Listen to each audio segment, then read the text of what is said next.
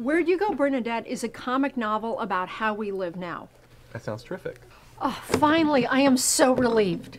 I'm happy to help. I'm really excited because I think this novel's going to get some serious attention. But you're the big fancy book critic. What do you say? A comic novel by a sitcom writer whose first novel didn't sell? I'll tell you right now, this thing is dead in the water. What do you even know? I am a 10 time Jeopardy champ, and as the third highest money winner of all time, I was able to quit my job reviewing books and sit around in cafes all day. I'm sorry, I didn't realize you quit your job. For 200. This desperate author should do her research before pestering former book critics. Maria Semple? Who is Maria Semple? Don't worry, there are gaps in his knowledge. Ken Jennings. Would you like to read my novel? Nah, I'm good. Where'd You Go, Bernadette? It is really good.